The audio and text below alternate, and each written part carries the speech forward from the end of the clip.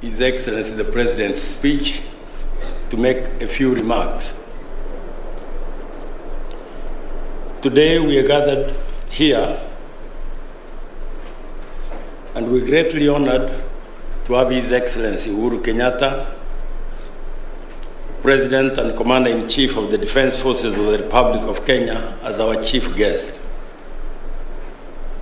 I want to thank His Excellency, the President, for his continued leadership and commitment to providing world-class infrastructure as espoused in our country's development blueprint, Vision 2030, and the African Union Agenda 2063. I also thank the distinguished guests, engineers, and allied professionals here present today who are behind the delivery of this program that PS engineer Dr. Njoroge has just spoken about. Thank you very much, Institution of uh, Engineers of Kenya and the Engineers Board of Kenya for your kind invitation to us to attend and participate at this 28th International Conference of Engineers.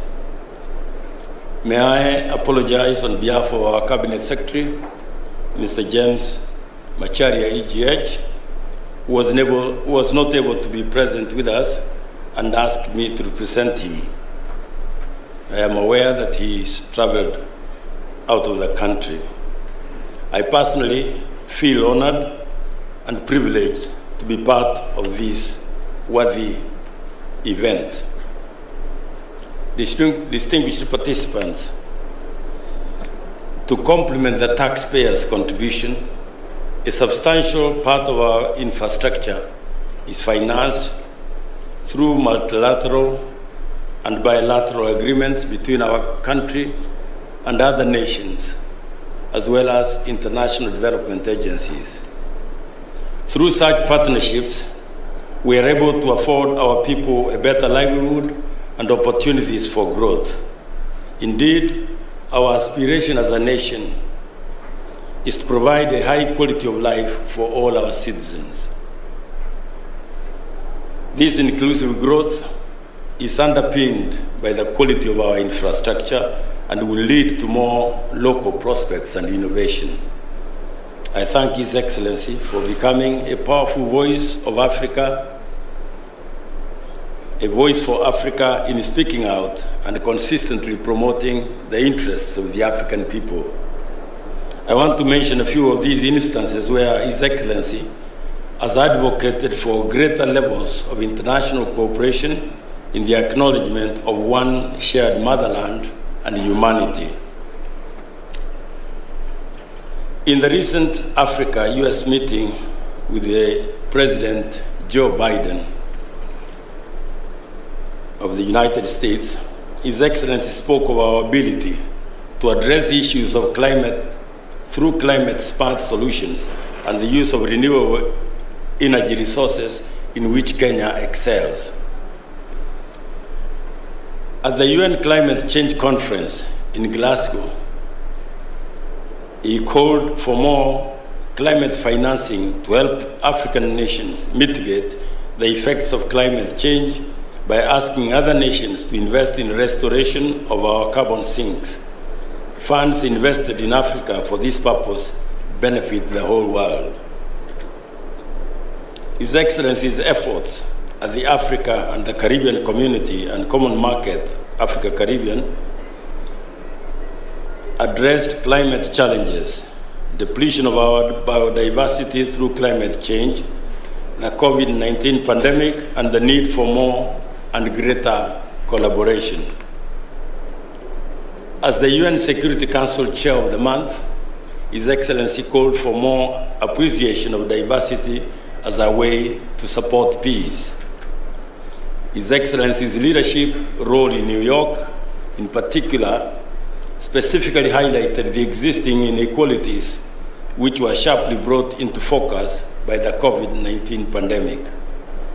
All these are critical issues facing humanity today. and I have been informed that they are all on the table for discussion at this important conference this week. The complementary role between nature and infrastructure is not to be ignored. Nature and the built environment must coexist so that the powerful force does not destroy the weaker one. Engineers, more than any other profession, are aware of what the ravages of nature can do and are able to harness this power for good and use it in the service of humanity. Nature also provides most materials used for our infrastructure, and the nature-based solutions tend to be the most effective. I also want to mention about our continental efforts, particularly the African Continental Free Trade Area. Africa needs 2.5 million engineers to meet its sustainable development goals. The Federation of African Engineers Organizations, as recently as last month in Ghana, promised that African engineers will support the African Continental Free Trade Area, free trade area through delivering the infrastructure needed for cross-border trade to thrive in the continent. Indeed, this is one of the aspirations of the African Union Agenda 2063 of the Africa we want, which is behind the Continental Free Trade Area. The flagship programs of this bold plan for our continent, such as the establishment of a high-speed rail network across the continent and the Grand Inga Dam project, will be done by engineers. We want this to be African engineers doing this work. In order to attain this structural transformation, we need to create more interest in STEM subjects and a larger enrollment in engineering courses, particularly by women. Perhaps what comes out clearly is the need for collaboration in, ta in tackling these issues and develop an ecosystem of partnerships for productivity, innovation, and efficiency. Engineers are called upon to provide solutions to, our, to all these issues, and this is why the engineering fraternity, the engineering fraternity's focus this year is on the role of engineers in accelerating economic recovery after the pandemic. I find this theme to be pertinent, very relevant, and timely. Engineers have a special responsibility to change the built environment sustainably. The ministry commits to provide the necessary support for the continued success of the engineering practice and is determined to put in place an enabling environment to facilitate engineering professionals to play their part in full. After these remarks, of course, uh, Chairman, I listened carefully to what you said, and my business will be to serve as a, a conveyor belt. After these remarks, it's now my singular honor and privilege to deliver the speech of uh, our chief guest, His Excellency, President and Commander-in-Chief of the Defense, Defense Forces of the Republic of Kenya, His Excellency Uhuru Kenyatta.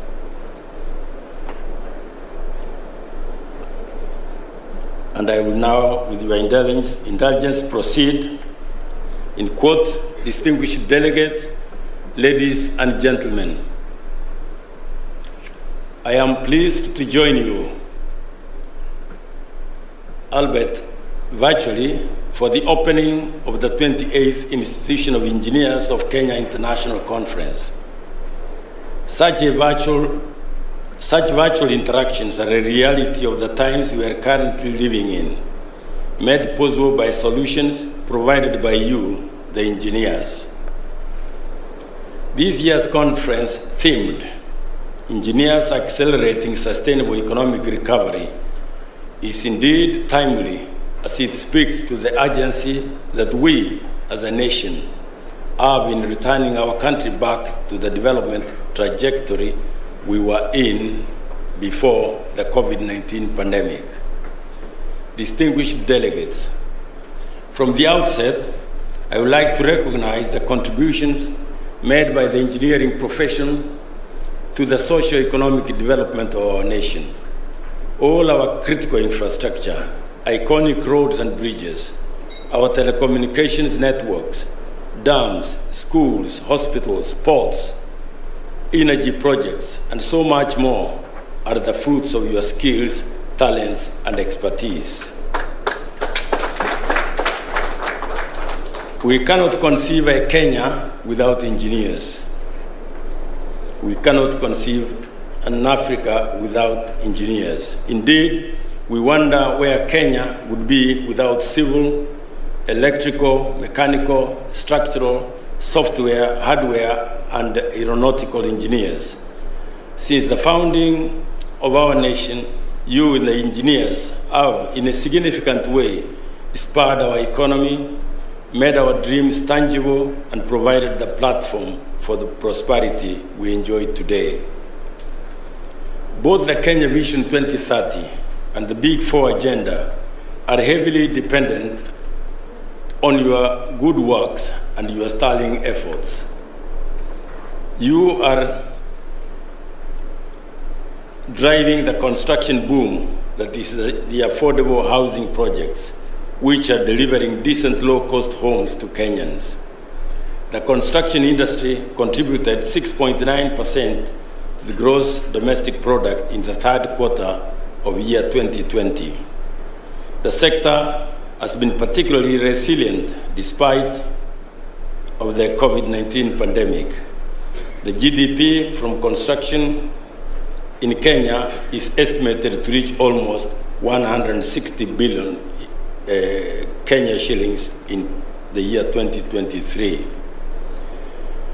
Turning to transport infrastructure, whether it's the Jomo Kenyatta International Airport, upgrading and expansion, the expansion of the port of Mombasa through container terminals 1 and 2, the Dongo Kundu Free Trade Port, the Lamu Port, the standard gauge railway, and the construction and rehabilitation of 10,000 kilometers of conventional roads and the low volume seal roads.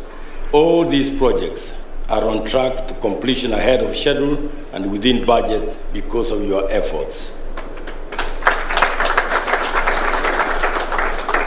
Of specific high priority value to our nation and particularly to the infrastructure sector is the 27 kilometer Nairobi Expressway.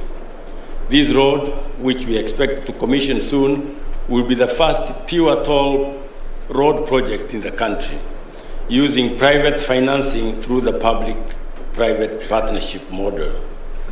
The expressway incorporates 11 interchanges with a total of 27 toll stations and is an iconic piece of engineering excellence that exemplifies the tremendous progress we are making as a nation. Ladies and gentlemen, at the height of the COVID 19 pandemic in the year 2020, I watched with concern as residents from Likoni struggled for limited space on the ferry to access Mombasa Island with increased risk of infection. My administration responded to the challenge by providing resources and facilitation to construct an alternative crossing over the Likoni Channel in what would be the first floating bridge in East Africa. The 800 meter crossing facility that allows approximately 300,000 commuters to walk across the channel at peak hours was completed within six months at a competitive cost of 1.9 billion shillings and to high standards, again through the dedicated efforts of our engineers. Ladies and gentlemen, it is worth noting that since independence, the standard gauge railway is the first single major iconic and transformative infrastructure in the railways sector undertaken by engineers in Kenya.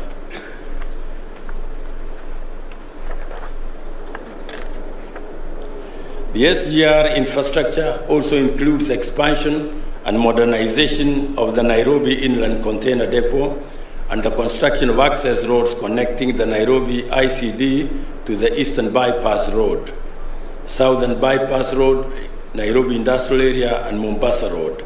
These has increased ICD's capacity to 104, 405,000 TEUs per year from a previous 180 TEUs uh, per year. Engineers take pride in the fact that you have not only delivered the SGR in record time and to world-class standards, but you have too ensured that it fully complies with our uh, conservation goals for biodiversity and envi environmental protection. I note that the, operate, the operations along the SGR lines have been undertaken safely without any incidents, accidents, or and uh, within schedule.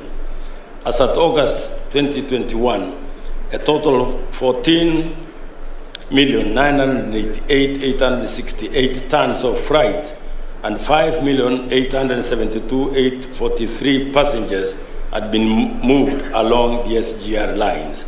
This surely is a feat for which, as a nation, and especially our engineers, we all should be proud.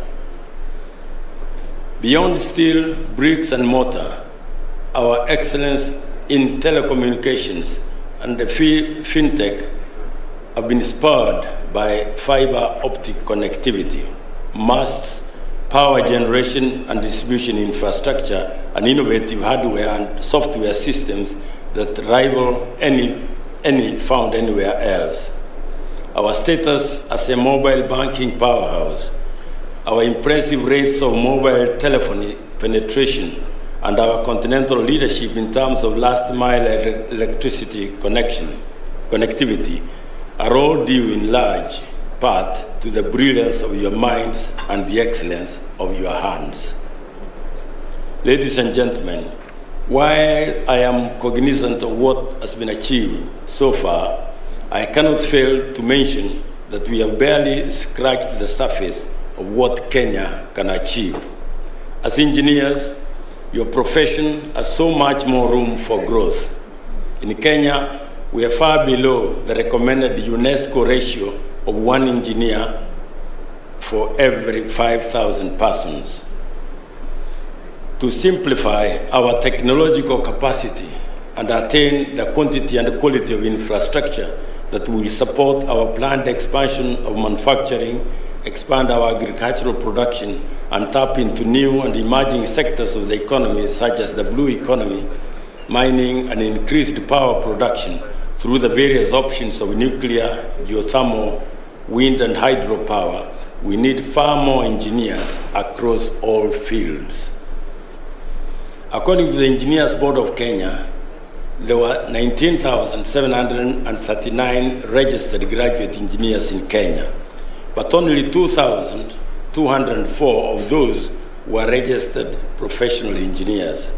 The ratio of registered graduate engineers to our population is 1 to 2,804 and 1 to 25,000 for registered professional engineers. Ladies and gentlemen, empirical evidence indicates a strong link between engineering and socio-economic development. Indeed, developed nations tend to have a higher share of that has been uh, CAS Chris Obure there opening the 28th International Engineers Conference uh, in Mombasa uh, organized by the Institution of Engineers of Kenya and the Engineer Board of Kenya. They are reading the head of state speech who was supposed to officially open the international conference. But because of the interest of time, let me just point one thing is that they will be advocating for greater participation and professionalism. Of course, uh, engineers are playing a key role in actualizing one of the president's big four agenda. Uh, and of course, uh, our Mombasa team will give us a more concrete information or detailed report in our subsequent bulletin.